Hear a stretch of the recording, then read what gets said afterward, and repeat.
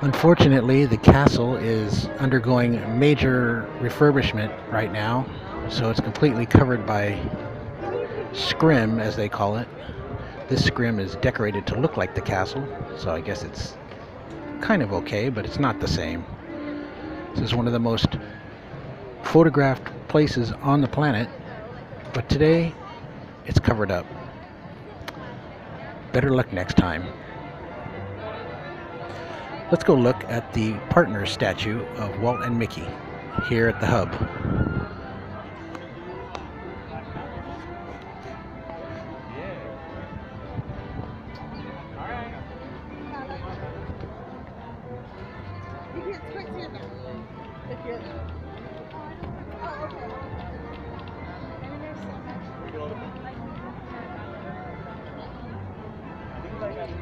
You know what you should watch while you're here?